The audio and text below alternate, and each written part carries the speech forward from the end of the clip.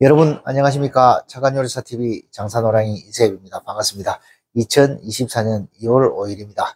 며칠 있으면 설이 다가오죠.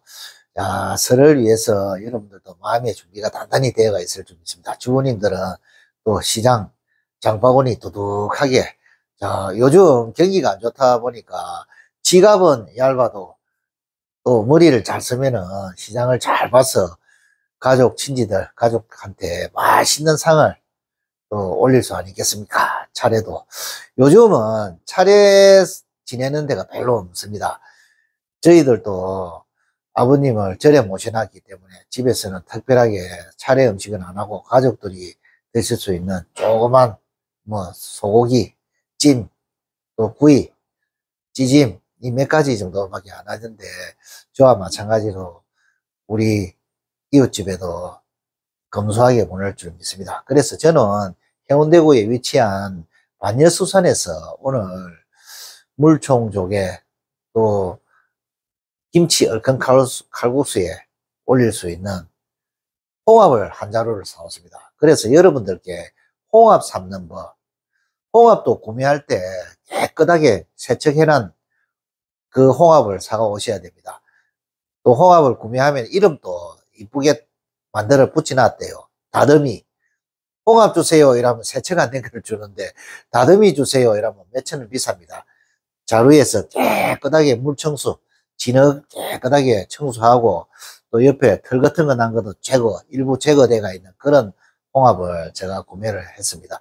여러분들도 다진한 그런 홍합을 구매하십시오. 그러면은 홍합을 제가 구매를 하는, 구매를 해서 작업을 하는데 홍합은 자, 자루채로 찬물에 넣고 해감할 필요 없습니다. 해감할 필요 없고 확 끓여가지고 펄펄 끓이면 알이 다 튀어나오기 때문에 80% 정도 자 뻐끔이 뽀글뽀글 올라올 때 그때 불을 꺼가지고 식혀야 됩니다. 콩나물국밥 끓일 용 콩나물 끓이는 거와 마찬가지라고 생각하면 됩니다. 콩나물도 팔팔 끓이면 콩나물이 다 쪼그라들어 봅니다.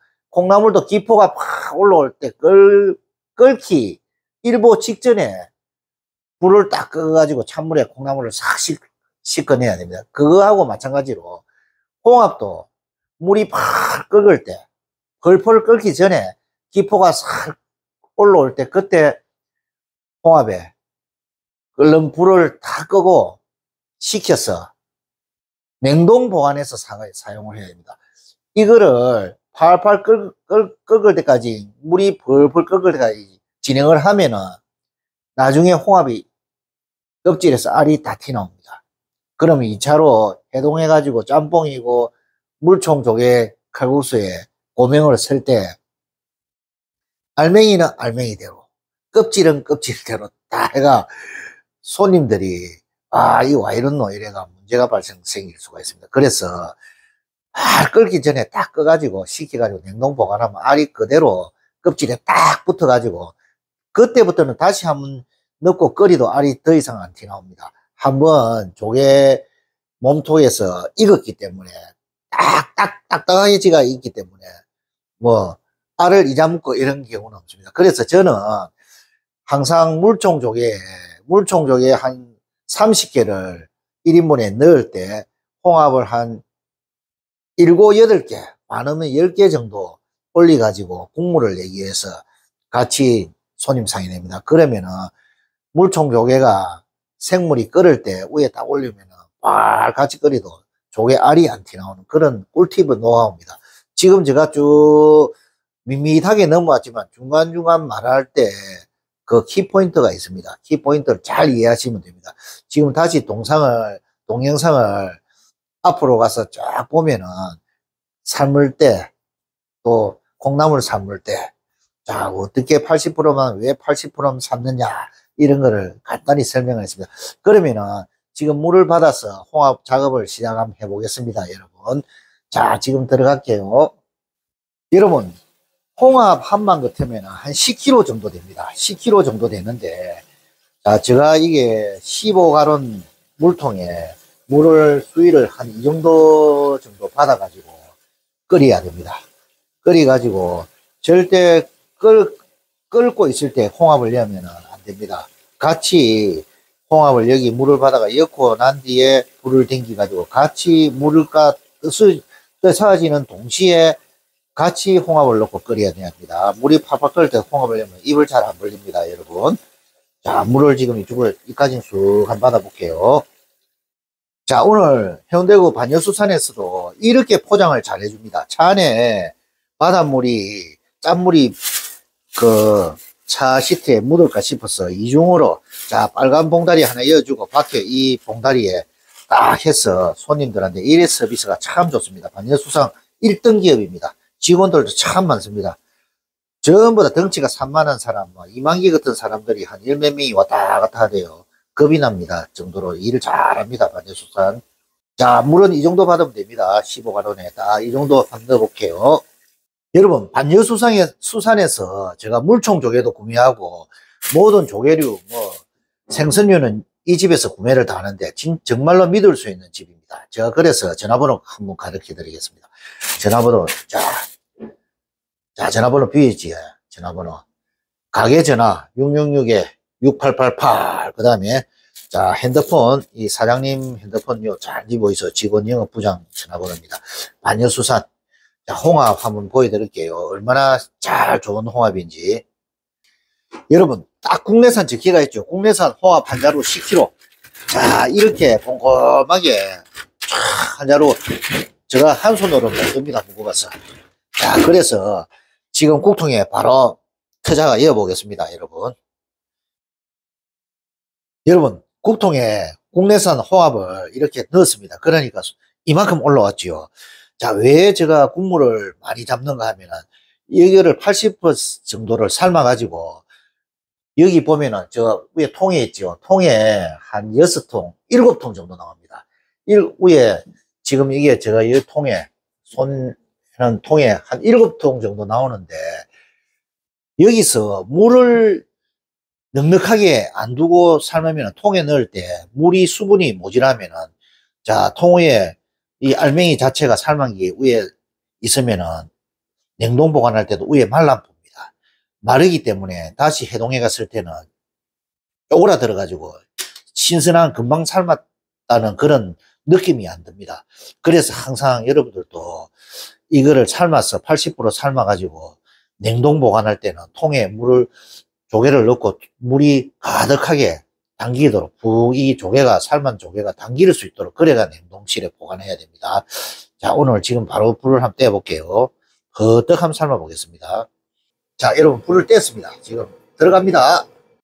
여러분 지금 이 지금까지 진행을 잘 들어보셨죠?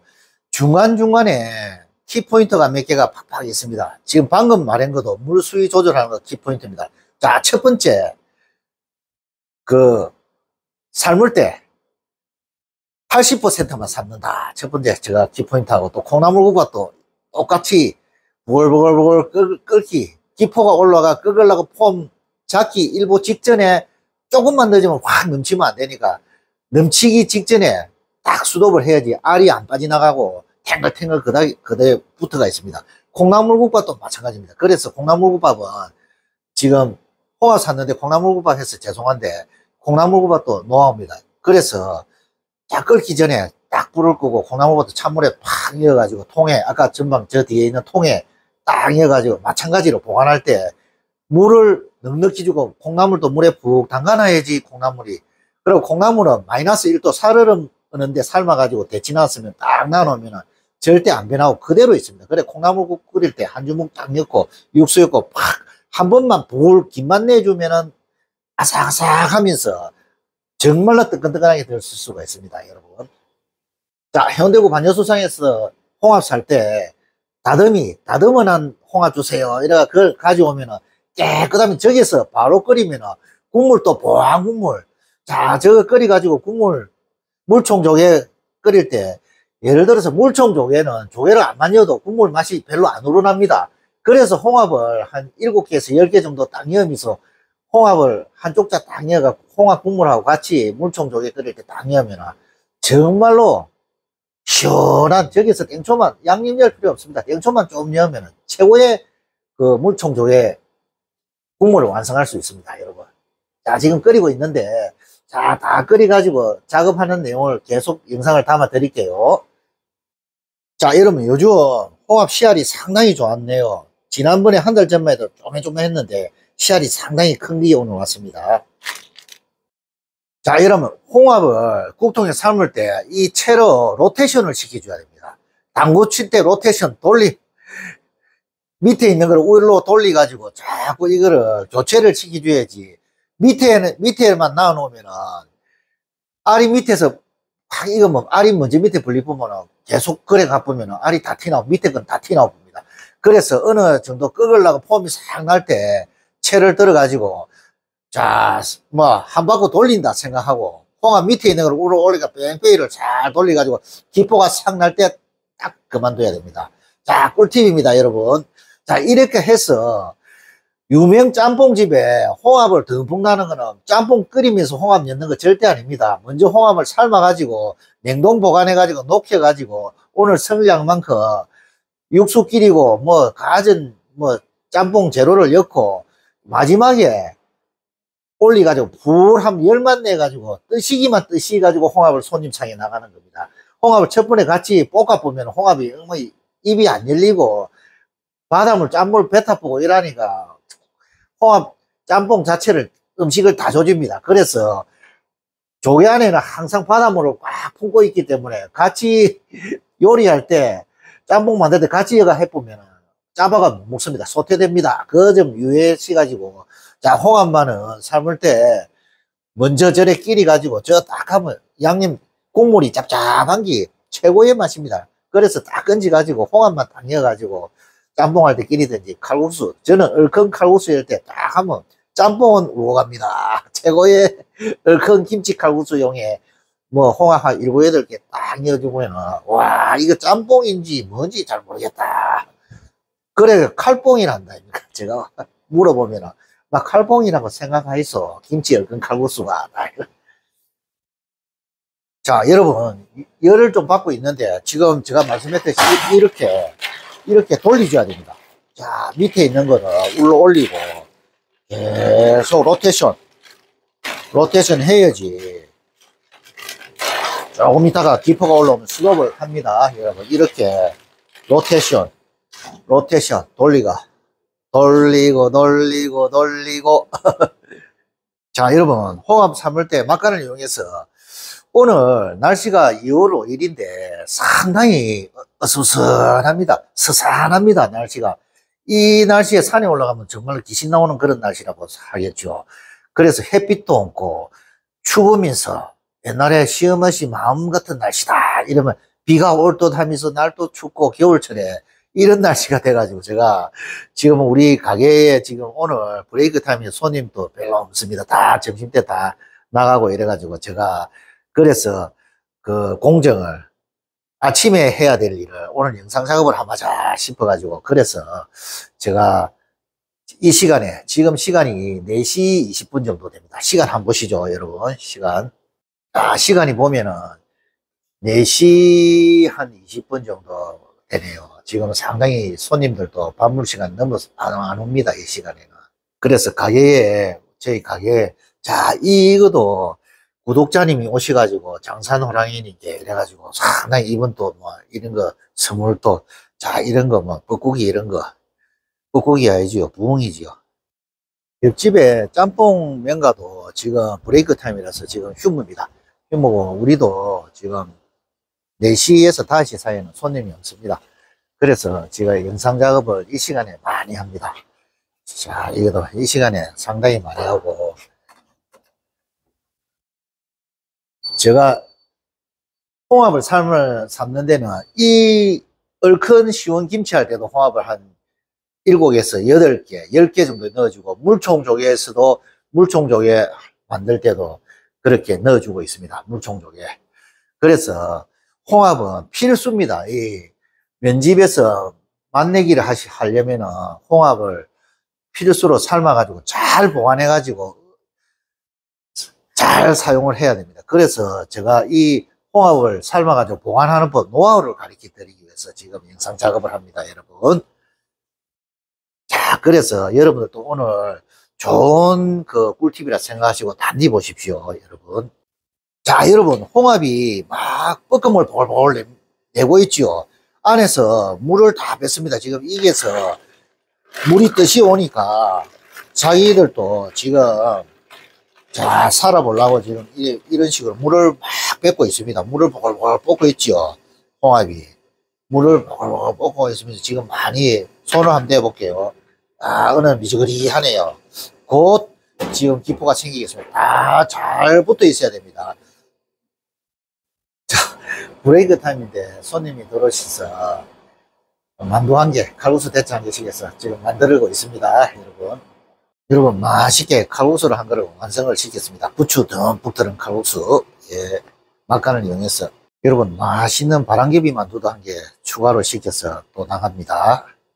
여러분 지금 이 상황이 가장 중요한 때입니다. 지금 이게 보면은 거진 홍합은 다 상기가 입을 열고 있습니다. 입을 열고 있는데 여기서 조금 더 가면 기포가 올라올 때 그때 마무리 작업을 해야 됩니다. 여러분 자 지금 기포가 좀좀 올라올 것 같네요. 자, 보시죠. 기포를. 그래서 여기서 팔팔 끓이면 알이 다 튀어나옵니다. 여기서 알이 팔팔 끓이면 알이 다 튀어나오니까.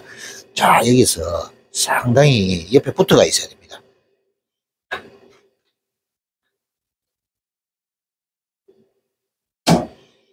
자, 옆에 붙어가 있어야 됩니다, 여러분.